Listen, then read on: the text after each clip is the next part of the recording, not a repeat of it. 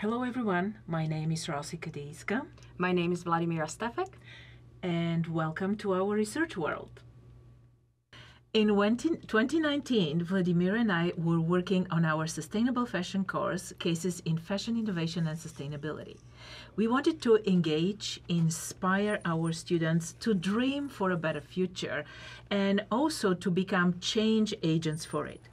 However, we could not find such cases that fit our criteria of being local and based on sustainability. And at the same time we wanted them to be able students to relate it to relate to the courses to cases and um, talk about uh, equity diversity and inclusion and represent um, entrepreneurs from a variety of backgrounds so we searched for such cases and we couldn't find it. So we said, if we don't have it, then we're going to write those cases.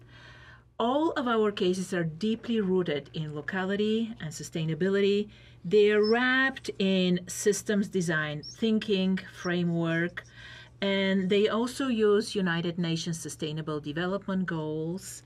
They are interdisciplinary because how can we discuss sustainability if we don't include all disciplines? Uh, cases are without boundaries, they are international, and they use technology in order to benefit um, uh, our students and benefit uh, the society. So um, we developed cases from the BIPOC, BIPOC community.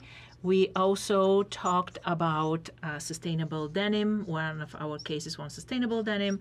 We talked about, um, and we uh, wrote a case of uh, Indian Canadian fusion entrepreneur.